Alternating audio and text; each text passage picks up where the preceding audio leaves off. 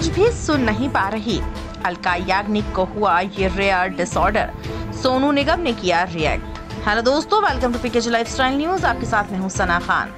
दोस्तों बॉलीवुड सिंगर अलका याग्निक एक rare neuro disorder का शिकार हो गई हैं। सिंगर ने सोशल मीडिया के ज़रिए जानकारी साझा की, जिसके बाद उनके फैंस काफ़ी चिंतित हो गए हैं।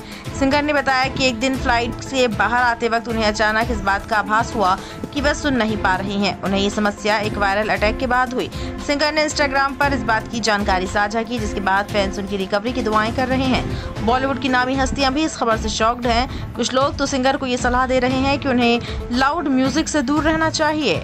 सिंगर ने इंस्टा पर अपनी एक फ़ोटो शेयर करते हुए लिखा, अपने सभी चाहने वालों, दोस्तों और शुभचिंतकों से, मैं कहना चाहती हूँ कि कुछ हफ़्ते पहले जब मैं फ़्लाइट से बाहर निकली तो मुझे इस बात का एहसास हुआ कि मैं कुछ सुन नहीं पा रही हूँ।